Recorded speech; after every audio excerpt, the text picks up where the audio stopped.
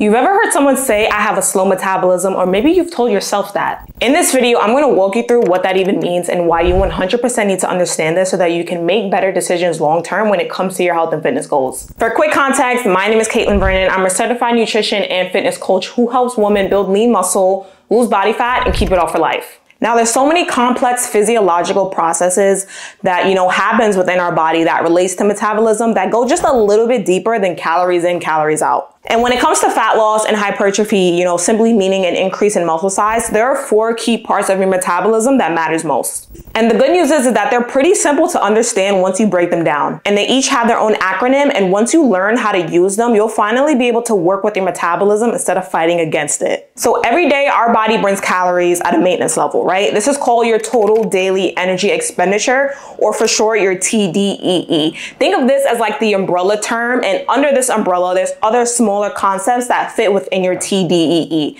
So there are four main categories that fall into this. Number one, let's start with your BMR or your basal metabolic rate. And this makes up around 60 to 70% of your caloric burn. Your BMR is essentially your body's energy requirement to fuel biological processes outside of physical activity. For example, such as you breathing, our lungs inflating and deflating, digestion, such as our colon contracting and our hearts beating. I want you to think of this as any function that our body has to perform just to live and pretty much keep the lights on. So clients often ask me, can I increase my metabolism? How do I do that? The answer is yes, but to a certain extent. Now, while resistance training can build more muscle and help raise your BMR, since muscle is more metabolically active, there is research that suggests that the impact and the increase on muscle mass on your resting caloric burn is relatively small. Meaning, yes, you will burn more calories at rest when you have more muscle, but not to a huge drastic extent. A more significant boost to overall increase your energy expenditure usually comes from increasing both your exercise activity thermogenesis, your EAT, and your non-exercise activity thermogenesis, your NEAT. So I like to emphasize this to clients and highlight how moving more throughout the day can have a bigger impact on fat loss alone. But you also have to keep in mind when you're in a calorie deficit and when you're losing weight, you're subconsciously gonna wanna move less throughout the day. So yes, your needs might go down. Now, your non-exercise activity thermogenesis, and when I say thermogenesis, I'm simply just referring to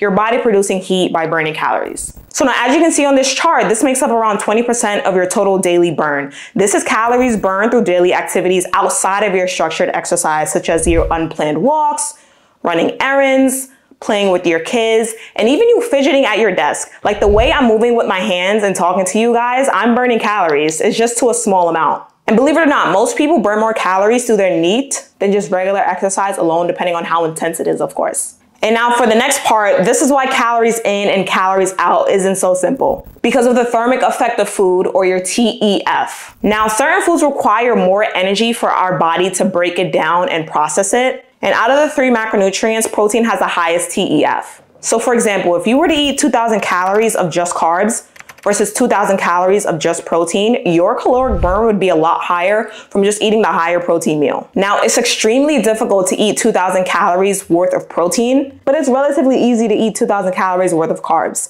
Like the desire to eat a plate of chicken breast just isn't there, but the desire to eat a plate of penne, it's definitely there. Protein has a TEF of around 30%, meaning if I were to eat 2000 calories of protein, my body would burn 600 extra calories just to break down and process that food. Now, carbs has a lower TEF, around 10%, so I would burn around 200 calories from eating 2,000 worth of carbs on my plate. Now, when it comes to the last macronutrients for fats, fats has the lowest TEF of around 3%. So out of that 2,000 calories, if I were to eat 2,000 calories worth of high fatty foods, on average, my body is gonna burn around 60 calories to break it down. So fat is very easy for your body to process and store, which is one of the reasons why it's so energy dense and very efficient as an energy source for, you know, longer sustained energy or more lower intensity cardio. And it's why it can be very easy to overconsume without even realizing it. So we covered three parts of our total daily energy expenditure so far. We covered our BMR, our NEAT, and our TEF. So now the last concept within our TDEE is our exercise activity thermogenesis, or our EAT for short. So this is energy or calories that are burned simply from our planned workouts. And this makes up around only 5% because out of our total TDEE, this is the smallest contributing factor. So you can try to out train or outwork a bad diet all you want, but I want you to look at it this way. It can take you five minutes to overeat on a thousand calories, but how long do you think you're gonna need to work out or run in the treadmill to really burn that off? Now, while workouts do matter for strength, you know, muscle performance, it's not just the main fat loss tool. right? I really want to put this into perspective for you guys. It can take me five minutes to eat a thousand calories, but if I needed to run on the treadmill to burn off that thousand calories, I'm probably going to need to run for an hour or two. It's just not sustainable and it's not the best approach. You're better off controlling your calorie intake as opposed to trying to outtrain a bad diet. And this is not even just from experience, like this is what the science is telling you. So obviously, while workouts do matter for overall strength, muscle, performance, they're not just the main fat loss tool. Your nutrition and daily movements are.